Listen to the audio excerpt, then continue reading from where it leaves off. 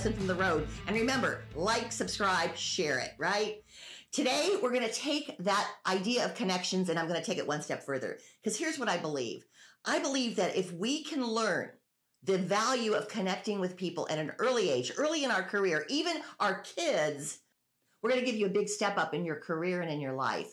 So today I'm going to tell you a story, and I call it my Hannah story. And the story goes like this uh, I have a lot of nieces and nephews. One of my nieces name's Hannah.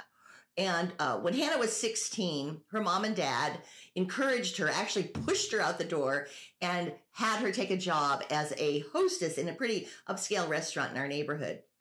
Hannah did not want to do it. She was shy. She did not really have any ability to even make eye contact. 16 years old. This was, this was hard for her. But her parents really, really encouraged her and she said, yeah. So she took the job and she did it all the way up till when she went to college. So she learned a lot. She was hostessing in her own neighborhood, so she met families, she met important people with, with maybe job opportunities. It was really good for her. So she gets off to school. She goes off to school not too far. And her senior year, I go visit her. And she's really excited because she has now lined up 14 job interviews. 14 job interviews right after graduation. She's excited because these are companies that she wants to work for.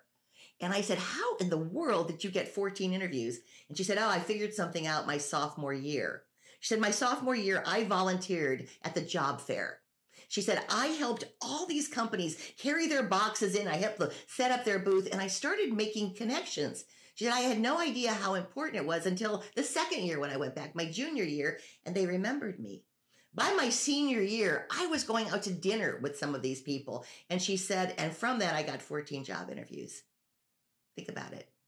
Connections at an early age. You're never too young to start. I just talked to Hannah today. She's been working for a company, top company in Dallas. She's traveling all over the country. She's been promoted three times. Yeah. She's a great success story. Now, is her success all about her connections? Maybe, maybe not, but I'm going to say that connections really help. So the moral of the story today is you're never too young. Get your kids out there. Get them out there talking to people, making eye contact, shaking hands. Teach your kids so that when they get off into their first career and their first job, they understand the value of connections.